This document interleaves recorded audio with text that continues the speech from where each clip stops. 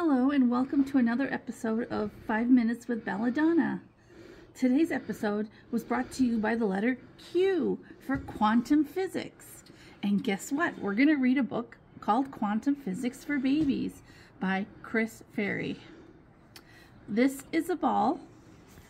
This ball has zero energy. All balls are made of atoms. There are neutrons protons and electrons. An electron can be here or here or here, but it can but an electron cannot be here or here. All electrons have energy.